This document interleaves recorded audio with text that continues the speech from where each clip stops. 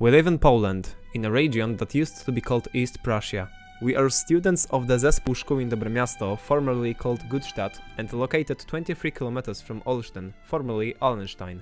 We heard about the famous inhabitant of this city, Eric Mendelssohn. We wanted to get to know this world famous architect of Jewish origin in more detail. We found a way architectural workshops. We decided to recreate the famous works of Mendelssohn and thus get to know the protagonist of our film Beta. The workshops were held in a building designed by him. Eric Mendelssohn was born in 1887 in Olsztyn, at that time in East Prussia, as the fifth of six children of Jewish merchant David Mendelssohn and modest Emma Esther. Eric Mendelssohn lived at today's Staromiejska Street.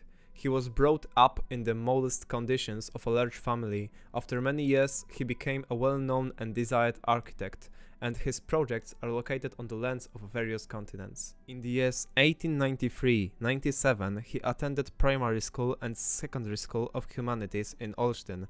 While studying at the secondary school, he had to repeat one year because of his physics grades. From the age of 5, he wanted to create and said himself that he began his architectural career at that age. When he wanted to follow his dreams as a young man, his father, David Mendelssohn, did not allow him to study architecture, arguing that a Jew in this industry had no chance of any employment.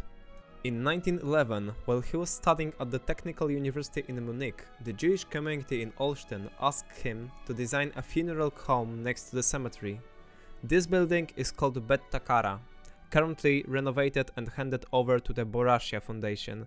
It houses the Center of Intercultural Dialogue known as Mendelssohn's House. Czy mogłaby Pani wskazać budynek, który jest wyznacznikiem stylu architektonicznego Ericha Mendelssohna?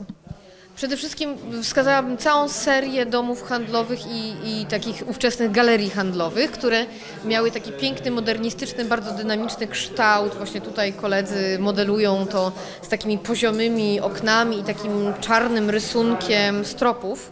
E, Jest bardzo znany budynek we Wrocławiu, teraz to jest jakiś inny dom handlowy, ale, ale wrocławski dom handlowy y, autorstwa Ericha Mendelssohna. I one były dość podobne. One wszystkie miały takie fajnie zagięte, półkoliste, tę frontową część, która była u zbiegu ulic. To jest też takie charakterystyczne w takiej amerykańskiej architekturze śródmiejskiej, właśnie domów handlowych. Znamy ten budynek chyba Chryslera w, w Nowym Jorku, który też jest taki pół, półokrągły.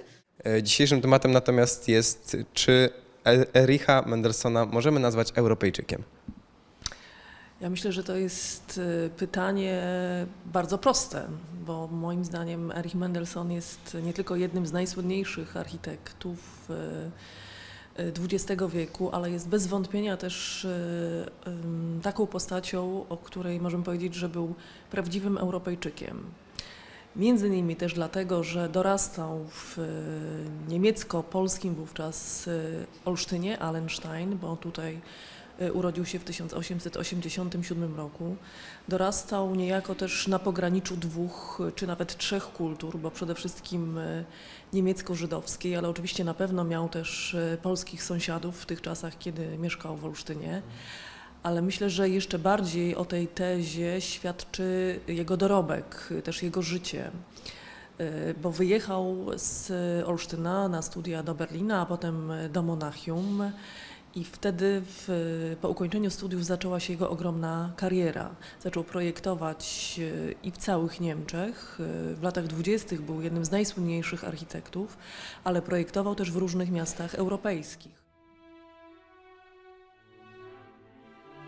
Rafałku, który z e, wy z budynków wykonujecie aktualnie?